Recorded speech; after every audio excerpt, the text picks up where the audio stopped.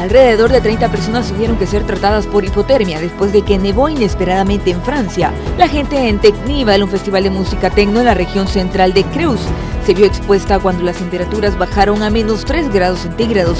Cerca de 10.000 personas se reunieron en una colina cuando comenzó a nevar fuertemente. Los rescatistas de la Cruz Roja trataron a la mayoría de los afectados en la escena, pero dos tuvieron que ser trasladados al hospital. Un terremoto de 7.1 grados de magnitud sacudió el martes por la mañana a la nación de Papúa Nueva Guinea en el sur del Pacífico. Su epicentro se encontraba a 130 kilómetros por debajo de la superficie en una zona montañosa remota en la provincia de Morobe. El terremoto se sintió en la capital de la nación, por Moresby, que se encuentra a 150 kilómetros de distancia. No se ha emitido ninguna advertencia de tsunami después del terremoto. Ubicada en el anillo de fuego del Pacífico, en los límites de las placas Papua Nueva Guinea, sufre frecuentes terremotos.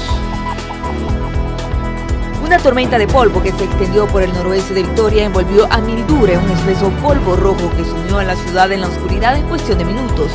La oficina de meteorología dijo que la tormenta de polvo azotó el aeropuerto de Mildura cuando los vientos alcanzaron los 57 kilómetros por hora. Testigos señalaron que el cielo pasó de azul a gris, a naranja y luego a negro en solo 15 minutos. Ese es un informe de Kelly Abrego para la RNA.